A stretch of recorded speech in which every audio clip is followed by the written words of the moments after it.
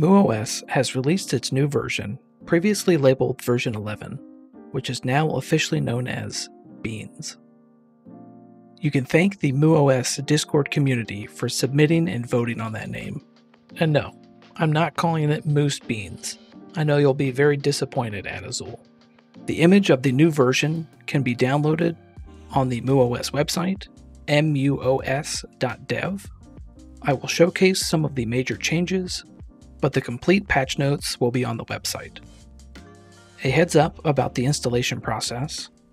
This version requires a fresh install by flashing the SD card with the new image file. So if you use a single card setup or have your save games on your primary card, back these up before flashing. The installation follows the same steps as the previous version. If you are installing this for the first time and need help, please check out my MuOS guide linked in the description. Okay, let's get on with the changes. After installing the new version, you will be greeted by the new default theme. I think it looks great, but I'm a fan of seeing all my choices in a list, so I'm going to change it back to the classic theme. If you want to change yours, go to the Configuration menu, Theme Picker, and choose one that you like here. Oh, great! Would you look at that? Someone made a Beans theme to go with the Beans version. Disgusting. I will select the classic one, and I'll show you how to import other ones later.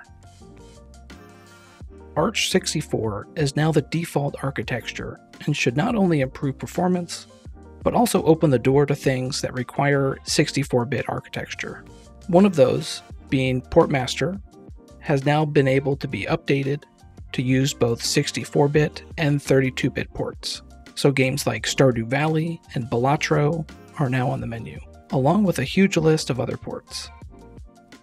I have tested a few of these without issue. The screen may be on the small side for playing some of these games, but if that does not bother you, then I have not found any other issues yet.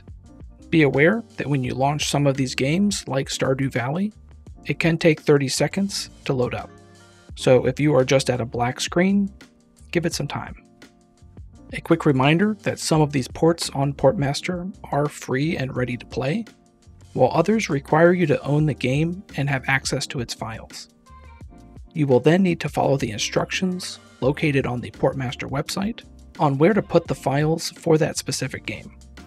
Another significant change is the addition of the standalone emulators for PSP and N64. The new default emulator for N64 is the Mupen 64 Plus external RICE option. What's good about this is that you get the performance from the RICE GFX plugin without as many visual artifacts as you get when using RICE with the RetroArch version. I'm using Super Mario 64 here to show off what I mean. This is how Rice looks on the RetroArch version. As you can see, there's a lot of flickering artifacts, and the lighting does not look right. And here it is running on the Mupen 64 standalone. You can see you don't get those issues as you did with the RetroArch version. The current downside is there are no working menus for the Mupen 64 standalone yet, but while messing around, I found some hotkeys that I didn't see documented anywhere, so I thought I would share them. Something to note is there are no visual cues telling you what is going on with these hotkeys. All of these hotkeys require you to hold down the menu button while hitting the following buttons I list. Holding down the right D-pad will fast forward. This is not a toggle, so you will have to keep holding it for it to keep fast forwarding. Hitting the Y button will save your state. Hitting the X button will load the state. Hitting up on the D pad will cycle through the states. Hitting down on the D pad does not seem to do anything, so you have to hit up on the D pad to cycle through all the states. I have counted 10, and it will cycle back around if you keep hitting up. Hitting the A button will restart the game, so watch out for this one and then hitting the start button will close out of the game. If anyone finds any other ones, please let me know. This standalone improved my experience with the N64 games on this device. However, it will not make all games playable, as there are still some with heavy slowdowns and some that are still out of reach. This is definitely better than the stock experience, even with the new N64 core they added, at least for the games that I tried.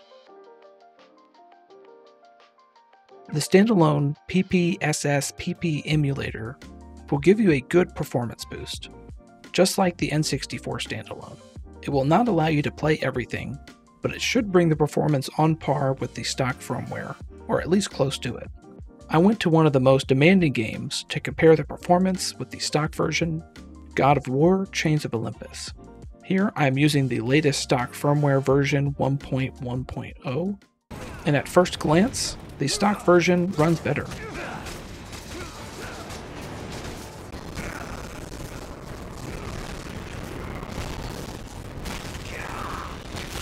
When I looked closer, I noticed that on the stock version, the frame rate was limited to 30 FPS, while on MuOS, the max was showing 60. So I checked the cheat section, and the stock version has the 30 FPS cheat enabled by default, so to make this fair, I turned that cheat off, and it ran as bad as I thought it would. I copied the PSP cheats from the stock SD card and created an archive file, then used the archive manager to install it. I will post a link to that archive file if anyone else wants to install these cheats. I then enabled the 30 FPS cheat for God of War on MuOS Lo and behold, it now performs about the same as it did on stock. I have not tested a ton of games, but the few that I have seem to have comparable performance now. I'm curious to know what your experiences are with it, so please let me know in the comments. The Beans update added two applications that work together for an easy backup and restore process. The first is the Backup Manager, found in the Applications menu. Here you can create backup files for your artwork, BIOS, config, and RetroArch save games. When you select one of these options, it will copy the related files, compress them into a zip file that then gets stored in the backup folder on your SD card. You can then copy these files over to your computer for safekeeping. This will be very handy whenever the next update comes out and you want to back up your data or settings. You might be asking how you use or restore these backup files. That is where the next app comes in, called Archive Manager, also located in the Applications menu.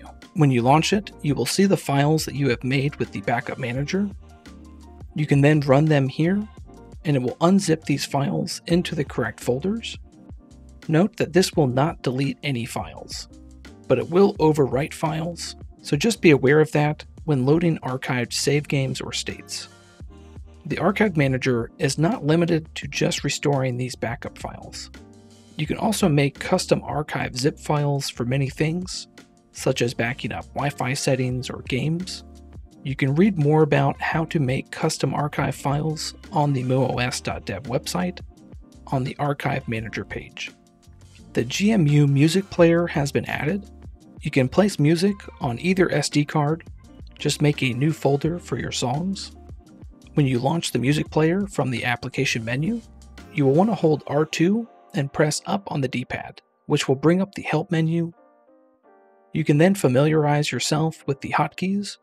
When it says mod, this is referring to the R2 button.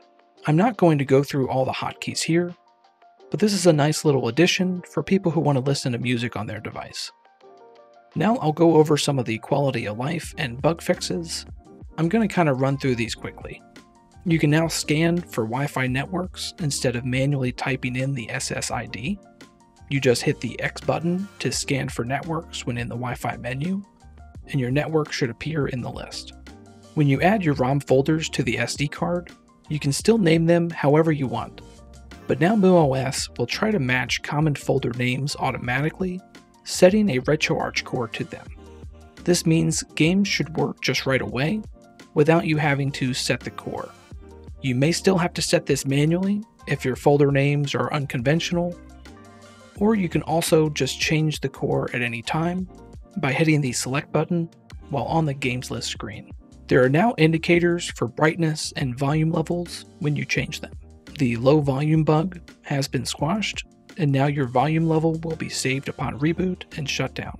There are also some new options in advanced settings, including the option to boot with low volume or to swap the A and B buttons. The box art loading issue has been fixed, along with the real time clock, daylight savings time bug for anyone affected by those. RetroArch has been updated to 1.18, and some of the cores have also been updated along with it. The last thing I will do is show you how to add some of the new themes that you can find on the Discord. First, you will need to go to the Discord, and then go to the Themes channel under Discussions. You can then browse around until you find a theme you want. Click on the theme and scroll to the bottom of the thread on the right and you should find a link to download that theme. Because the Beans update is new, not all themes have been updated to the newest version. However, a lot of them have. Once you have the theme files, access your SD card, navigate to MuOS, and then the theme folder, and drag them in here. And that is all you need to do. You should now see themes show up on the theme picker located in the configuration menu. There are some great themes in the works, and I am looking forward to showing these off when they're done. As I was editing this video, a new theme just came out, and it has to be my favorite so far. This one requires you to install it using the Archive Manager, and then turn it on with the Themes Picker. There are many other changes, but I'm going to cut it off here. Again, if you want to see the full list, check out the patch notes on the website.